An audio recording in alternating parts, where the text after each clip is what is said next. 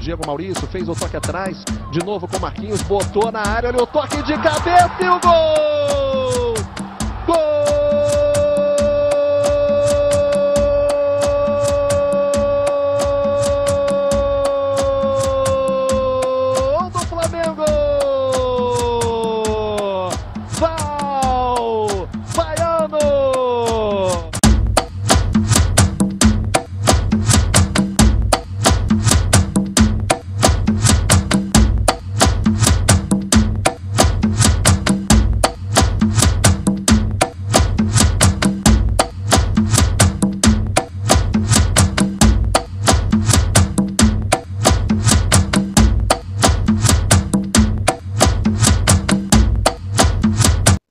Alô, nação rubro-negra de todo o Brasil. Hoje viemos trazer aqui esse nordestino arretado, esse cara que por onde passou, rapaz, é tiro, porrada e bomba, é polêmico. Eu espero poder dar o melhor de mim. Me dedicar pra caralho. Me dedicar pra caralho, ajudar a equipe, entendeu? E, se possível, aparecer a oportunidade pra poder fazer o gol. Também teve polêmica com ele no Mengão. Tá certo, não ficou tanto tempo assim no Flamengo, não teve tempo de se tornar ídolo, mas é um cara extremamente apaixonado pelo Flamengo. É um torcedor do Mengão que jogou pelo Flamengo, fez alguns gols. Você deve lembrar dele. Val Baiano. Qual a sua recordação do Val Baiano pelo Flamengo? O Val Baiano era um cara que perdia alguns gols absurdos.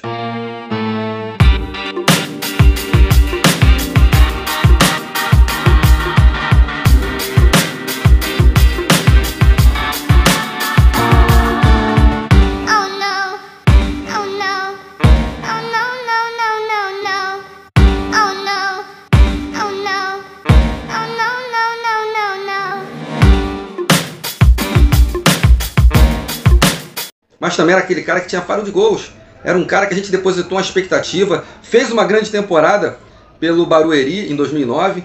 E o Val Baiano, infelizmente, sofreu uma lesão e teve outra questão muito polêmica que aconteceu com ele, que ele próprio vai falar nesse vídeo, que foi um dos fatores determinantes para a saída dele do Flamengo e de ele não ter mais chance naquele elenco do Flamengo. Então, uma entrevista imperdível, uma entrevista também divertida, porque o Val Baiano é assim.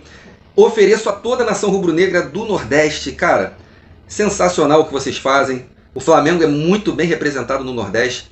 Todos vocês unidos agora assistindo Val Baiano. Eu espero poder dar o melhor de mim. Me dedicar pra caralho.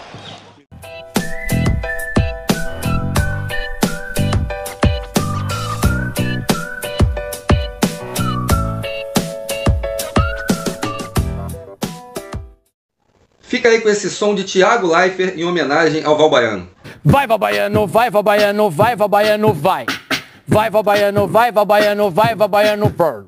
Então, Val, o que, que o Flamengo mudou na sua vida? O Flamengo mudou muita coisa. O Flamengo conquistei muitas coisas, muitos amigos, né? A realização de um sonho. Pude ajudar também a minha família, né? Apesar de estar no Monte Rei, onde recebia a mesma coisa que eu recebia no Flamengo. Mas é, quando eu recebi o convite de Zico, eu não pensei duas vezes em vir para um clube que eu sonhava um dia vestir a camisa, né? Que é meu time do coração. E lá eu fiquei. Tinha um contrato de um ano e meio, né? Se eu não me engano, era dois anos. Fiquei um ano e dois meses. O Flamengo cumpriu tudo comigo, não ficou me devendo nada, né?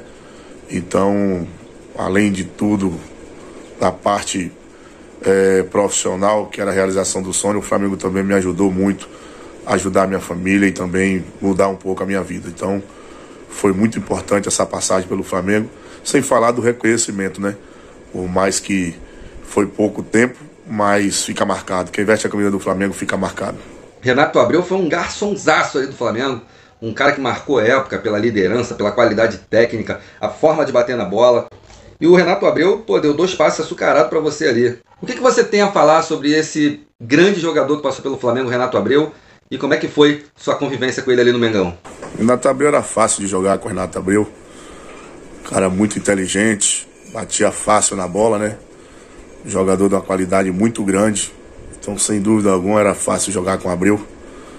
Um amigo que eu deixei na bola, né, que eu conquistei e que me ajudou muito, inclusive me dando os passos para fazer meus primeiros gols no Flamengo.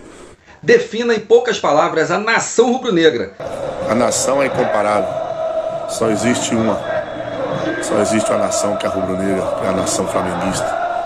É uma sensação única. Só quem viveu, quem está vivendo e quem viverá essa sensação para poder descrever o tamanho da alegria que é entrar no Maracanã e ver aquela nação vibrando e gritando. Qual foi o gol mais marcante de Val Baiano vestindo o manto sagrado, cara? Todo mundo sabe, eu cheguei no meio do campeonato, onde eu esperava ter uma oportunidade de poder fazer uma pré-temporada, de poder me preparar bem, como eu me preparei em 2009, 2009 quando eu fui vice-artilheiro da Série A pelo Barueri. Mas infelizmente o Fogo Vanderlei Luxemburgo interrompeu, né?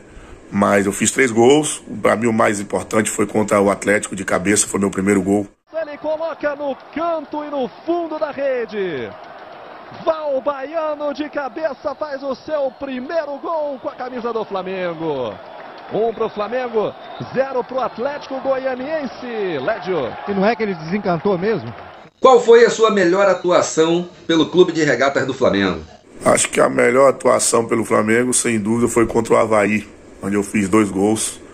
Né, ali começou a mudar a história minha dentro do Flamengo, mas infelizmente, durante a semana, acabei me machucando e ficando de fora de dois clássicos contra o Vasco, contra o Internacional, onde eu estava vindo marcando gols e acabei tendo a lesão e aí foi o que me machucou, o que me prejudicou dentro do Flamengo. Ah, estava em posição de impedimento o Renato Abreu. Ele ajeita para o meio e o Valbaiano chega completando a jogada, fazendo 1 a 0 para o Flamengo. Renato Semensati. É, gol que nasceu numa irregularidade. A visão do Cleberson foi perfeita, você frisou bem, mas tive a nítida impressão que está um pouco à frente o Renato Abreu, que faz o cruzamento. O Valbaiano é o goleador, é jogador para escorar. Como você disse no início da transmissão, ele acabou desencantando no Flamengo. Dentro dali, na linha da pequena área, ele tem um aproveitamento bom. Tinha sido assim antes de chegar no Flamengo. Mostra o seu oportunismo. Agora, para mim, o gol é irregular. E o gol foi do jogador de área, né, Giovanni? Ele vai passando confiança pro atacante também, né? Renato Abreu, olha chute cruzado, a chance! Gol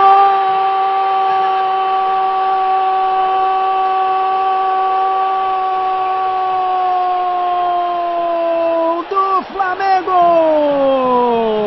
De novo Val De novo passe do Renato Abreu! O Flamengo faz 2 a 0 com dois gols de Val Baiano, 16 primeiro tempo de jogo. E o torcedor ali parece não acreditar, leva as duas mãos à cabeça. Olha aí a conclusão do Valbaiano. Em mais um chute cruzado do Renato Abreu. Dois pro Flamengo, dois gols de Valbaiano, zero pro Havaí. Então, Val, como é que era a sua relação, cara, com Vanderlei Luxemburgo? Minha relação com o Vanderlei Luxemburgo era das melhores possíveis antes dele chegar no Flamengo, né? Inclusive, quando ele chegou no Flamengo, eu tava no banco, ele me botou para jogar. Na estreia dele, eu fiz meu primeiro gol com a camisa do Flamengo. No segundo jogo contra o Havaí, ele sacou o David e me botou para jogar de titular. Onde eu fiz mais dois gols. Depois machuquei durante a semana no clássico contra o Vasco. Fiquei de fora. Ele mandou me preparar que ia contratar meias, que ia contratar jogadores para que a bola chegasse até a mim. Porque meu forte era finalização. E se a bola não chegasse, não tinha como eu fazer os gols. Foi quando contratou o Ronaldinho, o Thiago Neves e outros jogadores, né? Fizeram um time bom, mas ele acabou me afastando, não deixou que minha carreira seguisse no Flamengo, que eu não tenho dúvida se eu continuasse naquele time ali, eu teria feito muitos gols. Tiveram muitas especulações na época, né, sobre a sua saída, o porquê que você foi colocado de lado naquele elenco ali. Por quê que o Vanderlei Luxemburgo te sacou daquele time? É, fica aí a pergunta, né? Por que, que ele me afastou? Também não sei. Até porque quando eu tava de férias, o genro dele, Fabiano, falou para mim que eu ia continuar. Fabiano tem uma ligação muito grande com ele. E depois acabei que sendo afastado, né? Eu, Pet, Correia, é, Everton Silva, Marcelo Lomba, Vinícius Pacheco, então é, é, Clebson Penta, vários jogadores foram afastados. Resuma a sua passagem pelo Flamengo. Acredito que foi bem. Para mim foi uma realização de um sonho. Para mim, particularmente, foi muito especial. Foi muito bom. Gostaria de ter ganho o título, gostaria de ter ficado marcado na, na, na memória do torcedor.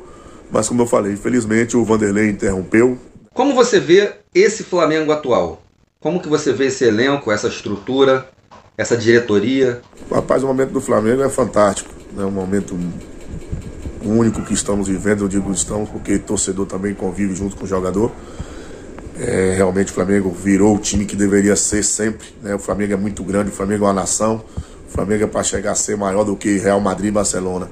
Eu acredito que com esse marketing, com essa diretoria, o Flamengo pode chegar longe, né? Só fiquei triste por não ter retorno, o retorno de Rafinha, que são, sem dúvida alguma nós vamos sentir muita falta. Um jogador que nos ajudou, um jogador que foi brilhante, muito importante, tanto dentro quanto fora de campo. Infelizmente não deixaram que ele continuasse no Flamengo, né? Então o Flamengo vai sentir muita falta de Rafinha. Val Baiano agora é o Tite, treinador da seleção brasileira. E eu falo para você, só tem uma vaga para levar para a Copa do Mundo no ataque. Eu quero saber de você, quem você leva? Bruno Henrique, Pedro ou Gabigol? O momento de Gabigol é muito especial. Eu sou fã particularmente de Bruno Henrique. Gosto muito do Bruno Henrique, então assim como eu gosto de Gabigol, do Pedro, são goleadores. Mas o momento do Gabigol é muito especial, ele merece sim uma chance de estar na seleção, assim como o Bruno, como o Pedro, mas hoje se fosse para levar um, com certeza seria o Gabigol.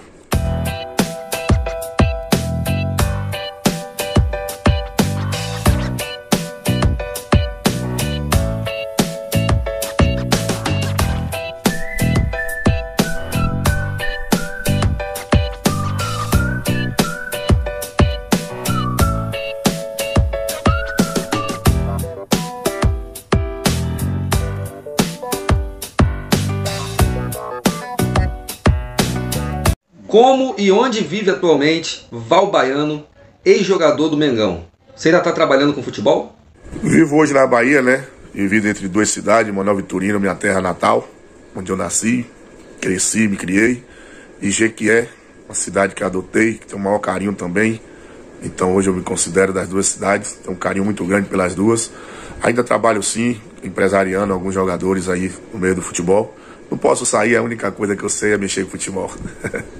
Baiano, abra seu coração e deixe uma mensagem para toda a nação rubro-negra e principalmente para o seu clube de coração, Clube de Regatas do Flamengo. Quero desejar toda a sorte do mundo ao Flamengo, que o Flamengo continue vencedor, que nós continuamos vibrando e torcendo, comemorando títulos com esse grande time, né? Agradecer a Bandeira, que foi quem deu o pontapé inicial para que o Flamengo se tornasse o que é hoje. É, galera, mais uma grande entrevista aí com o nosso Val Baiano que vestiu o manto sagrado, fez gols com o manto sagrado e é um cara que está credenciado a estar aqui sim no canal Nação Urubu 81. Agradecer a disponibilidade desse baiano arretado, o homem das feijoadas lá na Bahia, o homem de Manuel Vitorino, o homem de Jequié. Fera demais, um abraço mais uma vez a toda a nação rubro-negra da Bahia. Tamo junto sempre, gente. Quer ajudar o nosso canal? Seja membro do canal Nação Urubu 81 e participe do nosso clube de membros. Beleza? Vamos junto nessa e até a próxima entrevista. Saudações rubro-negras. Olá, galera, passando aqui para fazer um pedido a vocês para se inscreverem no canal do YouTube, o canal Nação Urubu 81.